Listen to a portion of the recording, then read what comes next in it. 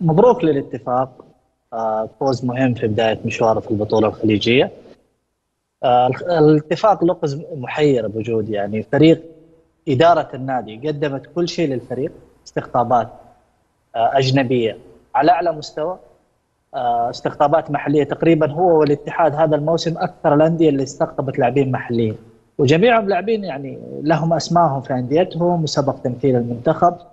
لكن فنيا يعني السؤال يوجه لإدارة نادي الاتفاق. على أي أساس من الموسم الماضي وأنتم بتشاهدوا الفريق الاتفاقي تم التجديد مع سيد جيرارد؟ جيرارد اللاعب أسطورة ليفربول والمنتخب الإنجليزي ما أحد يختلف عليه. لكن فنيا كمدرب ماذا قدم للاتفاق؟ وجود الاتفاق فريق يملك كل عوامل التفوق في أرض الملعب، فريق يملك أسماء حتى الاستقطابات الأجنبية اللي حصلت الفترة الشتوية الموسم الماضي كلهم لاعبين لهم اسمهم سواء إيكامبي لما كان مع أبها أو مدران مع التعاون. شاهدنا مدران المستويات اللي قدمها مع نادي التعاون فوفانا مع نادي النصر وشاهدنا كذلك المستويات اللي قدمها مع المنتخب الإفواري في البطولة الإفريقية. وكان أحد أبرز الأسماء وأهم الأسماء اللي كانت موجودة وحقق فيها المنتخب الإفواري البطولة الإفريقية. العوامل الفنية كلها متوفرة يتمناها أي مدرب. لكن إيش العمل المقدم في نادي الاتفاق؟ وجود على إدارة الاتفاق تدارك الأمر بشكل سريع. ترى الاتفاق مثل ما قلنا على التعاون حتى في البطولة الخليجية عطفا على الأسماء اللي موجودة سواء محلية أو أجنبية. ترى الاتفاق قادر على تحقيق البطولة هذه بدون مبالغة ممكن بسهولة.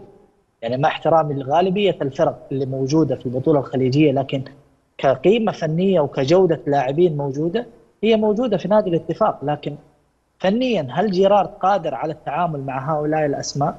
كل المتطلبات اللي طلبها جيرارد من إدارة نادي الاتفاق إدارة سامر المسحل تم توفيرها لكن العمل الفني داخل أرض الملعب ما شاهدنا الاتفاق من الموسم الماضي يعني الاتفاق الفريق اللي يملك تاريخ كبير بين الأندية السعودية أول فريق يحقق بطولات خارجية الفريق اللي له شعبيه جارفة في المنطقة الشرقية.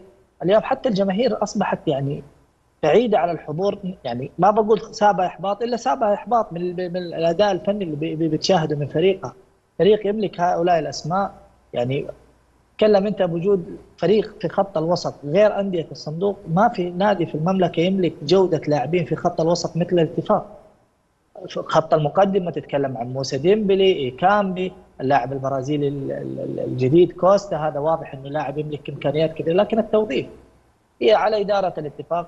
التحديد يعني هل جيرارد مستمر مع الفريق أو يعني معالجة الأمر هذا سريعا؟ الاتفاق يملك كل عوامل التفوق لكن للأسف فنيا ما هو ما لقي المدرب اللي قادر يتعامل مع كمية الأسماء اللي موجودة في الفريق، نقول مبروك للفريق الاتفاقي هذه البداية المهمة في البطولة الخليجية وبإذن الله تعالى قادر على الاستمرارية فيها إن شاء الله.